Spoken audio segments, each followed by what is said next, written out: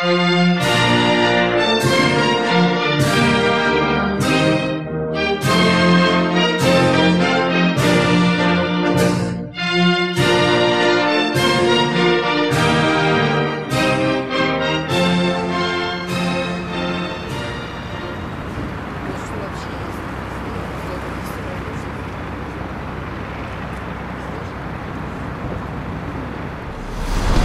7 ноября наступила новая эпоха в истории развития всего человечества.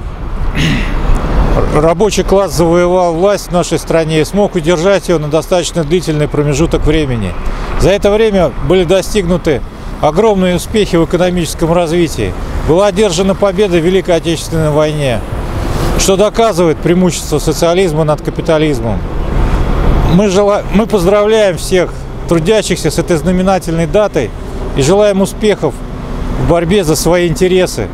Только эта борьба может привести к процветанию и развитию нашей страны. С праздником! Здравствуйте, товарищи!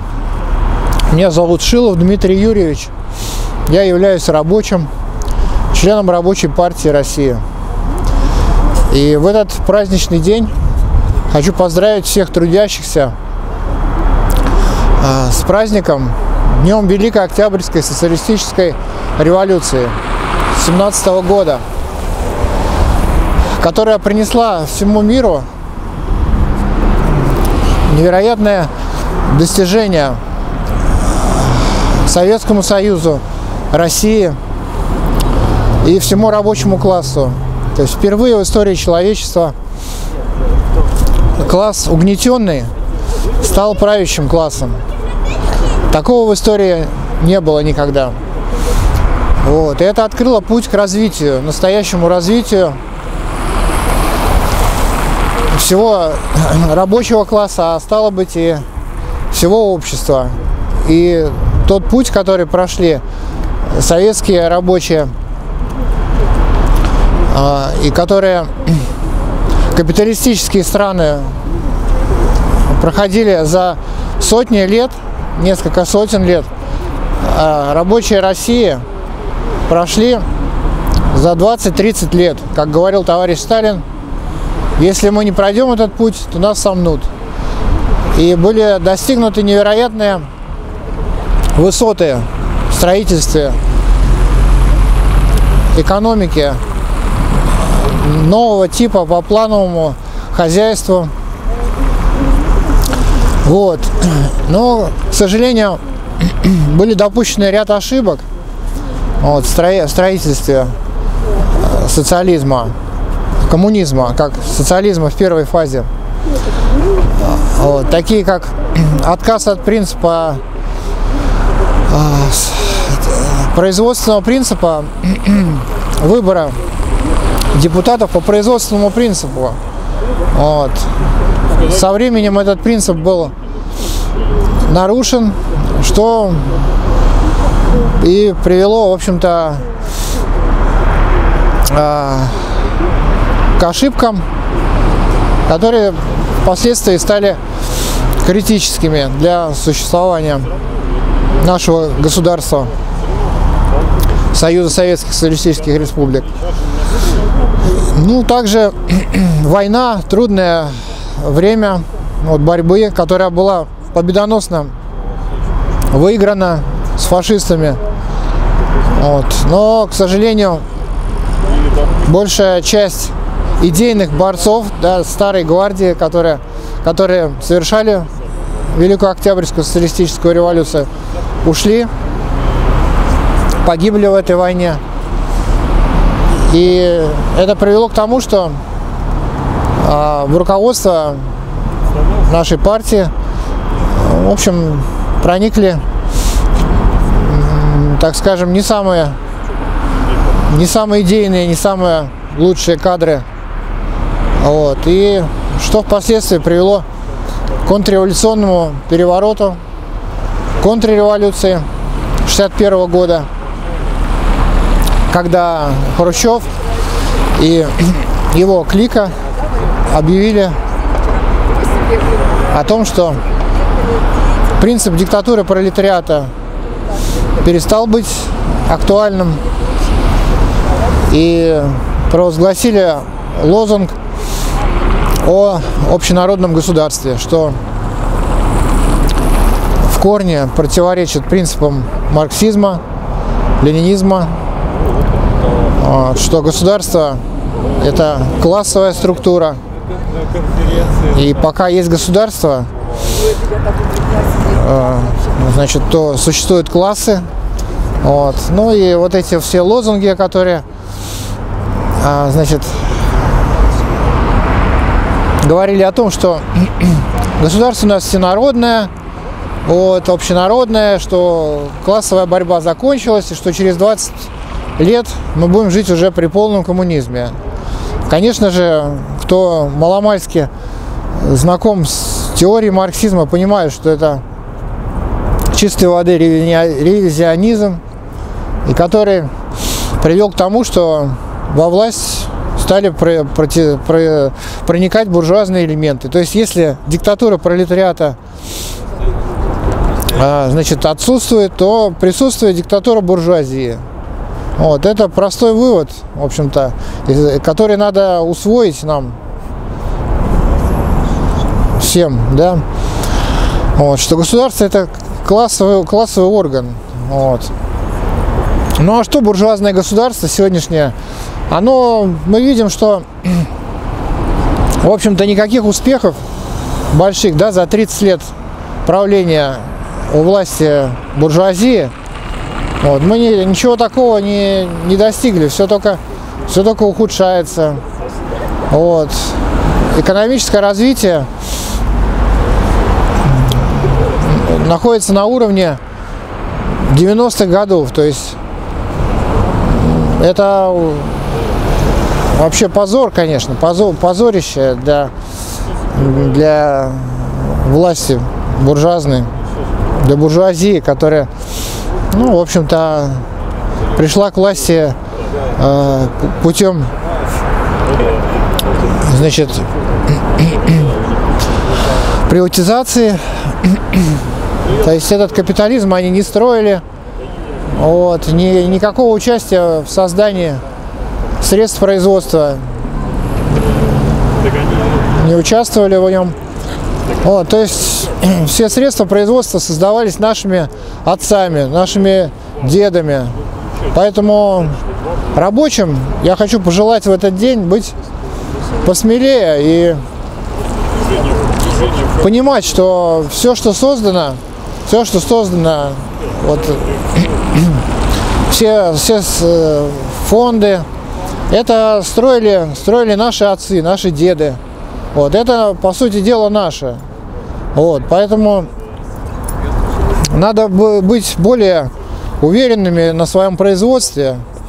Вот, и все мы, конечно, вспоминаем э, советское время как хорошее, которое дало нам образование, много чего дало.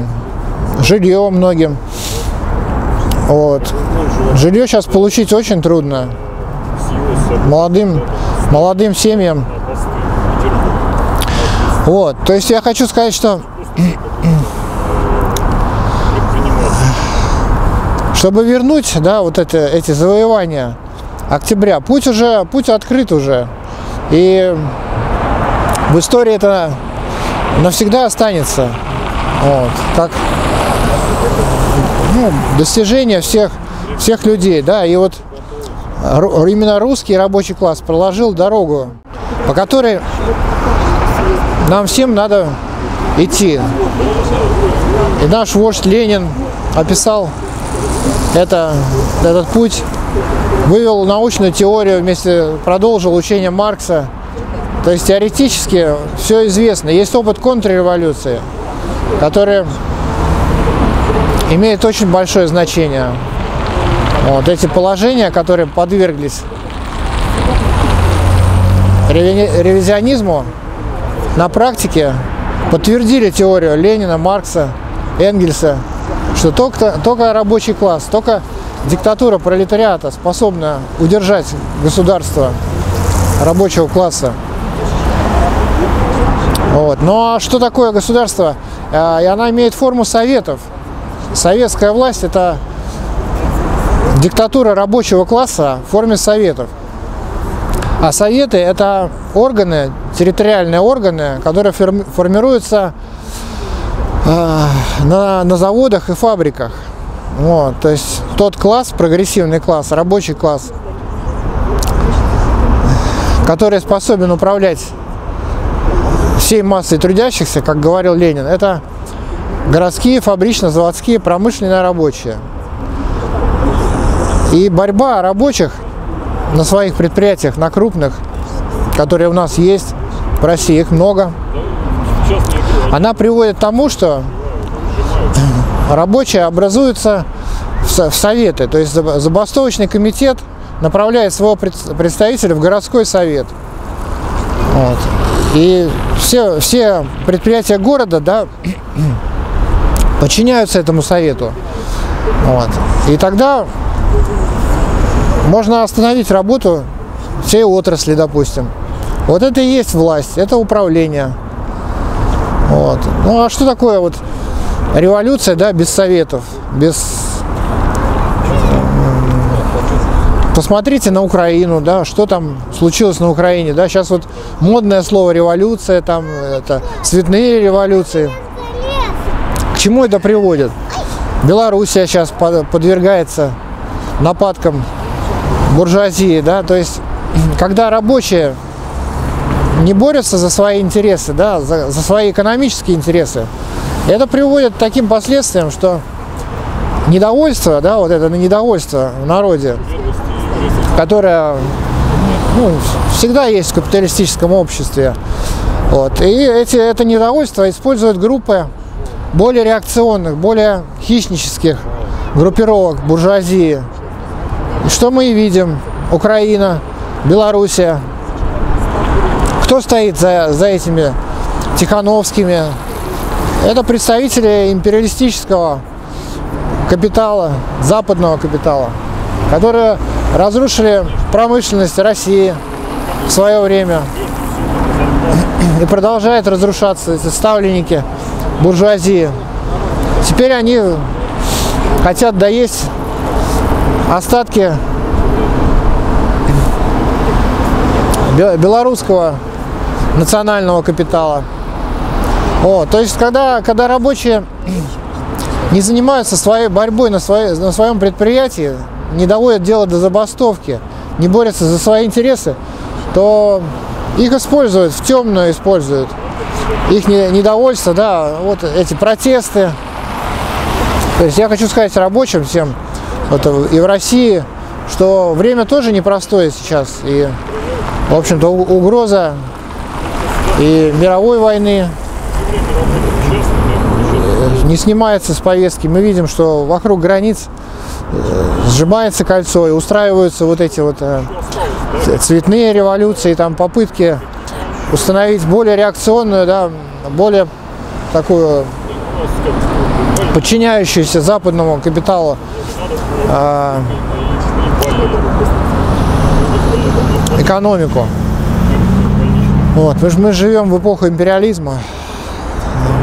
А эпоха империализма, это, как сказал Ленин, эпоха пролетарских революций. Вот такое время мы с вами живем, товарищи. И я хочу пожелать рабочим бороться за свои интересы, коллективные интересы на своем предприятии. Коммунизм начинается тогда, когда рабочие начинают объединяться и бороться за интересы своего коллектива против капиталистов. Все начинается с экономической борьбы. Вот. Нас отбросило далеко назад. И нам, товарищи, необходимо научиться бороться за свои экономические интересы. А чтобы эта борьба была успешная, нам необходима партия, партия рабочего класса. И такая партия есть. Есть такая партия, как сказал Владимир Ильич. Она, конечно, еще в становлении пока, но сейчас набирает обороты. Рабочие на, к нам идут, видят нас силу. Наша партия вооружена передовой теорией Маркса. Вот, нам помогают интеллигенты, И поэтому я хочу сказать, что без партии, конечно, наша борьба будет ну, волнообразная. То есть э, экономическая борьба, она, в общем-то, к большим успехам не приводит. Вот, поэтому, конечно, да, успешной классовой борьбы я призываю товарищи рабочих, вступайте в рабочую партию России, где рабочие имеют право голоса, здесь нас уважают, здесь рабочие чувствуют себя достойно, Рабочие имеют, то есть все решения партии принимаются большинством рабочих. Это наш основополагающий принцип, который был утрачен в свое время коммунистической партии э, Советского Союза. Вот. И этот опыт мы несем и никому власть уже свою не отдадим. Вот, так что давайте, товарищи, бороться за свои интересы, улучшать нашу жизнь, заработную плату, уменьшать рабочий день, сокращать его, увеличивать свободное время для своего развития, для своих семей, для партийной и профсоюзной работы. И строить свою власть, альтернативную, советскую. И не надо там ходить на эти выборы. Все это все это решает проблемы буржуазии. Вот для рабочих это ничего не решает, а только может ухудшить. Как показал опыт и Украины, и, и Белоруссии. Сейчас тоже хочу сказать рабочим Белоруссии, что устраивайте забастовки за улучшение условий труда. Не надо слушать этих провокаторов, которые втягивают вас в эти игры буржуазные эти игры, это ни к чему хорошему не приведет. Боритесь за свои экономические интересы, улучшайте свою жизнь, вступайте в партию. И, конечно же, в итоге, когда эта борьба, когда мы научимся бороться, надо научиться бороться сначала, надо научиться составлять договора, участвовать в переговорах. Это большое, это великое дело такое, которое, в общем-то, надо освоить, потому что, ну что-то, что значит взять власть? И что с, ней, с этой властью делать? Это просто быть объектом, да, который ну, используют, да, вот. Это недопустимо, товарищи. Вот. Так что пожелаю всем успехов в борьбе. Спасибо за внимание. В день великого национального праздника советского народа 7 ноября был и остается днем Великой социалисти... Октябрьской социалистической революции, днем создания великого государства, Союза Советских Социалистических Республик. Он вошел в наши сердца залпом Авроры, кумачом знамен и алым цветом гвоздик. Октябрь 17 года открыл для народов России право на труд, на мир, на свободу, равенство и братство. Под знаменами октября наши отцы и деды возводили новые заводы и предприятия, защищали и укрепляли советскую родину. Мы остаемся верны заветам наших предков. 7 ноября над нашими колоннами снова реют красные знамена победы. Под ними мы соберем всех кому дороги идеалы социализма. С праздником, дорогие товарищи! Здоровья, успехов, благополучия во всех делах. Я верю, победа будет за нами. Здравствуйте, товарищи! Мы находимся в центре Ленинграда, около знаменитого крейсера «Аврора». Здесь нас когда-то принимали в октябрята и пионеры. Здесь, перед лицом своих товарищей, мы торжественно клялись горячо любить свою родину, жить, учиться и бороться, как завещал великий Ленин, как учит коммунистическая партия. Моя первая учительница Нина Евгеньевна Чечина просила нас, октябрят, на всю жизнь запомнить этот день и говорила нам, что этот день – один из самых торжественных дней нашей жизни. Она старая фронтовичка, на уроках часто нам рассказывала истории своей фронтовой жизни, потому что она считала это очень важным – передать нам, детям, память поколений. Она говорила, что самое дорогое у человека – это его жизнь, и что именно свою жизнь отдавали за нашу свободу, за советскую родину герои гражданской Великой Отечественной войны. Но буржуазия уже тогда совершила контрреволюцию и повернула колесо истории вспять.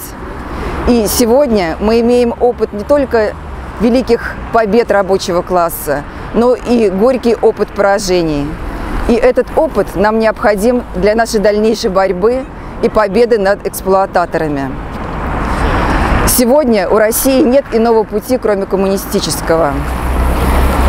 И сегодня, как и сто лет назад, мы повторяем за героями гражданской войны, что самое дорогое у человека – это его жизнь.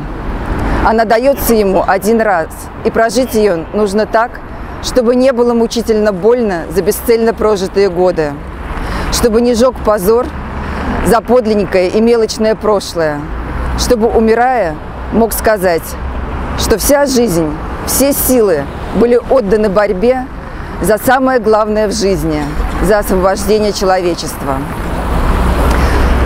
Рабочая партия России э, поздравляет рабочий класс России и всего постсоветского пространства с Днем Великой Октябрьской социалистической революции и желает рабочему классу успехов в борьбе за улучшение условий труда, в сплочении и в конечном итоге за завоевание политической власти которую он использует для того, чтобы выполнить свою историческую миссию, которая состоит в уничтожении классов, через уничтожение частной собственности, через уничтожение различий между людьми умственного и физического труда, через преодоление различий между городом и деревней.